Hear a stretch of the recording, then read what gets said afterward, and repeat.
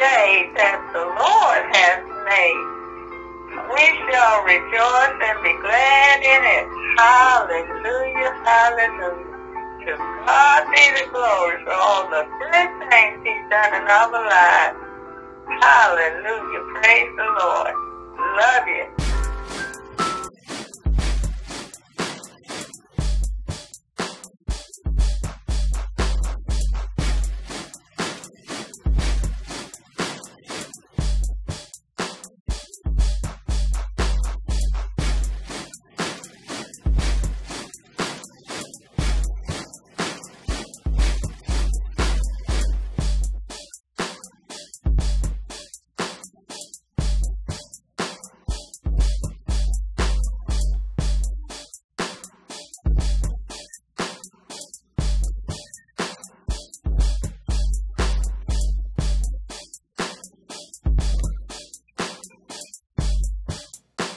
I got a, I got one here for you, and this is all I'm trying to say. Okay, It's in Matthew 7, 13 and 14. let me get to it for you. Hold, let me write, let me bring it up for everybody. Matthew, which one? Uh, 7, 13 through 14. Well, what chapter? Matt, uh, Matthew 7, Seven. Okay. What verse? 13 through 14. 13 and 14. Okay, let me bring it up for everybody to see it too. Go ahead, sir. Well, you know I got the New Living Translation, but it says, you can enter God's kingdom only through the narrow gate. The highway to hell is broad, and its gate is wide for many who choose the, who choose that way. Tuesday. Yeah. Yeah, yeah. But the gateway to life is very narrow, and the road is difficult, and only a few, capitalized few, will ever find it. That's all I'm trying to say. Yeah. That's all I'm to. Yeah, and that and that, that makes sense of what what the scripture said. You can't find it without Christ. That's why he said you it. That's why he said it. That's why he said yeah. it. I am the way, the truth, and the life. Yes. You yes. ain't gonna find it on your own.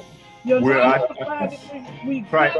That's why I said. That's why it's so narrow, because the the Just one choice person. Is only through Christ. That's like me falling in line of Mhm. one body, not the rest of the world. I can't Right. get there any other way. I only can get through this narrow passage that's been open to you and me Mhm. through Jesus Christ. That's what he's trying to say. You're not going to find it on your own. Then, then he says, I am the way. That's I am the way. 46. Now, I am the now there, there's something that kind of I don't know why I there, but but but uh, there was something. David killed Uriah the Hittite. I had him murdered anyway. He did. But did he have a fellowship with the father after that situation? Right. Yes, he did. Yes. But did that situation have repercussions on his life for the rest of his earthly life? But, Yes, it did. You get a So there's some things that we have done in our lives that are going to affect us. We're going to have repercussions from it, from the point that we committed it up until the point that we leave the planet. Most probably, that happens. But Right. does it hinder or stop our fellowship with the Father? And the answer to that is no. No. It just it does not have to be a stop point. It's It like doesn't have to be. it, Yeah. it shouldn't be a place where you, if you can repent of your sin, regardless of what that sin is. People murder folk and are forgiven by both the state and the Lord, and they live long, happy, I can't say happy lives, but they live long lives in the presence of the Lord.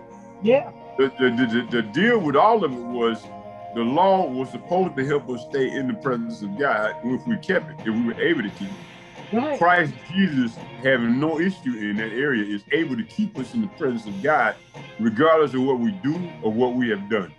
Yeah. So, in in in in the, in the, the, the I think the ultimate is that we stay in the presence of God. Why? First off, you know, we don't want to leave this earth without being in His presence. And second off, as long as we're in His presence while we're on the earth, we can represent Him better. So you are the light of the world. So God has called us to represent Him. We are the ones that people look to see the godly image now. Yeah. So as much as we abide in Christ, even through tragedies or even through repercussions of sin, the more we stay in His presence, the more people see that Yeah. relationship, and the more hopefully that it'll cause them to aspire to the same eternal life. Yes. Uh, so we have a mission and we have a means to accomplish it, is sin going to take a toll on us? Oh, come on. Yeah, it does. It takes a toll on you, but does it have to take a toll on the relationship? Nope. My sin has strengthened my relationship with my father.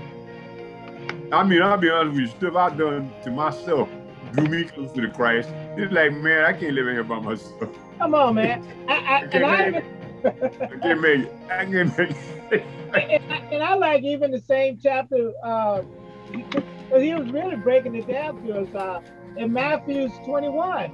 Uh, I mean, 7, verse 21. In that same chapter you was reading, it says, Not everyone that says unto me, Lord, Lord, shall enter the kingdom of heaven, but he that does the will of my Father which is in heaven. Many will say to me in that day, Lord, Lord, have we not prophesied in thy name? In that name cast out devils, and that and have done many wonderful works. Jesus mm-hmm. said, I profess unto you, I never knew you. Depart from oh, me, you that work in iniquity. Thank you, Lord. Because I you, never Jesus. knew you. Because you, the only way I know the way is to know him. The only way I can find a straight gate is through him. I'm not going to find that gate on my own. This, there's another one, verse 24. Therefore, whosoever, and this is why I think you trying, this is how you're saying it anyway, to me, uh, from there. Therefore, whosoever hears these sayings of mine and does them, I will liken to him a wise man and built his house upon a rock. The rain descended, the flood came, and the wind blew and beat upon that house, and it fell not, right? For it was founded where? It was founded on Jesus Christ, right? It was said founded on a rock. It was, it was, it fell not, but it was founded upon a rock. And everyone that hearing these sayings of mine and doeth them shall be likened unto a foolish man, which built his house upon the sand. And the rain, which is the issues of life, the flood came, which is all the type of things that we deal with. The wind blew and beat upon that house, and what? It fell. Well, great was the fall thereof. And great was the fall thereof, because we're not, if we sit there and don't dwell in him, and we sit there and don't go the narrow path of him, because through him I have righteousness. Through him I can get to the Father. That is a very is that a narrow way, brother Addison? That that that's is that wide or that narrow? Can I, Pastor, Pastor can I say this? Go ahead, sir. He is our righteousness. Yeah, He is our way. He is. that's why that's the issue. That's why I think we we fail to You're not- realize I can't get there. I can't get no righteousness without him. Yeah, it- it's him. It's just him. It's like it's like it's not what he's doing or what he did. It's not a. It's not his his method. It's him. It's him. It's not It's, what it, it, it's him. It, it, it's just the man himself. It's like when you walk to the door of Jesus, you can have on the worst clothes you ever wore in your life. They're gonna let you in. right. But if you like, you know, hit your step and you know, pop up in there like him with a cane, you still ain't getting in. You came in looking like him in your behavior, but you ain't with him. No, The only way you get in is if you with him. exactly. Period. Period. that's why that's why I think that's so important when he said the straight gate was talking about is that You talking about yourself. you if you're trying to find it your way, you ain't gonna get there. It'll be a straight line. Everybody lined up behind you. Y'all come on go. That's that's the narrow path. That hey look, that is the yeah. that is the path. yeah, that's I it. Hey look, hey, here's a better way I can I think Brother Azar probably can help me out better, but if if if if, if I go by this scripture here, it said, enter in at the straight gate. Where's that gate? It's Jesus. Now, who doesn't who who who listens to this video? Who's in this Bible? Who's in this uh, study? Does not know that the straight gate is Jesus. Because the one he said, for wide is the gate and broad is the way that leadeth to destruction, and many there be which go there in it. Because straight is the gate and narrow is the way which Hallelujah. life, and few Look. Ah, hallelujah. Thank you, You know that fine, hey, I'm trying to tell you, hey, look, hey, bitch, hey, y'all look, you, Lord. the good Thank you, news Lord. is, Brother Isaac, check around, you correct me, you check. The good news is, you ain't gotta find it. I'll tell you what, you, you ain't gotta look for it. I'm telling you where it's at. If if somebody tell me, correct me if I'm wrong. And who, who does not know where it's at? Mm. Does anybody uh, uh, help me? Brother Isaac, help me out. I, I, you probably do better than me. Tell me. Jesus. You tell me. You tell me. What? Mm. Does that make sense, Brother Bell? I'm sorry, I didn't hear y'all. I was doing something. Okay, does that make sense? I'm saying is in the scripture you gave, right? Yes, it is. Uh-huh. Verse 14, because straight is the gate and the narrow is the way that leadeth to life, and few there be that find it. What I'm saying is, you, me, anybody listening on this Facebook and the YouTube, we don't have to find it. It's already pointed. That's how. The, that's why we're preaching the gospel. You don't have to look for it. It's right there. It's that is what I'm trying to say. If you stay in Christ, follow Jesus, not people, because people people lead you to destruction. People lead you to the wide, broad way. We don't have to find Jesus. Jesus came already for anybody to go to him. That's why he said in that same those same books it said is, hear me. You must be born again. And you must follow me. Hallelujah. huh? Thank you, Lord. And he Thank even said, he said in that same scripture there, that Thank you, same Lord. you and I was reading, Thank you, Lord. he said, What's the wise man? Then? Brother, has to read that for us, please. Read it. But the uh, 24 and 27.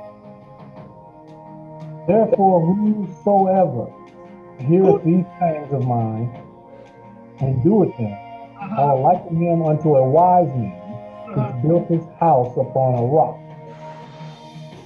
And the rain descended, and the floods came, and the winds blew and beat upon the house, that house, and it fell not, for it was founded upon a rock. Everyone that hears these sayings of mine, doeth them not, shall be likened unto a foolish man which built his house upon the sand. And the rain descended, and the flood came, and the wind blew, and beat upon the house. And it fell, and great was the fall of it. Yes, sir. Because the bottom line is that's the why he said the narrow gate is Jesus Christ. And even the people was astonished when he read it. They look at it saying, and it came to pass when Jesus ended these sayings, the people were astonished at his doctrine, for he taught them as what? One having authority Yeah. and not as the scribe. I'm saying is, I, you don't have to find the way. He has already pointed us to the way. His way is Jesus Christ. If I stay on that foundation, yes, I'm gonna have some. th- Those wind and flood means the issues of life. I'm gonna have issues. I'm gonna have storms. I'm gonna have waves. I'm gonna have floods. I'm gonna have all kinds of things, meaning sin. These things gonna come in my life, but if I'm founded, anybody listen for the words of my mouth. If I'm founded and stay on the rock, I can't get off the rock. Isn't that what he's trying to say, Brother Addison? I can't get off the rock. I can't get off the rock, but if I stay on the rock, if I walk through the gate, which is Jesus Christ, I'm not gonna fall. That's all. That's the that's the gospel. That's the good news.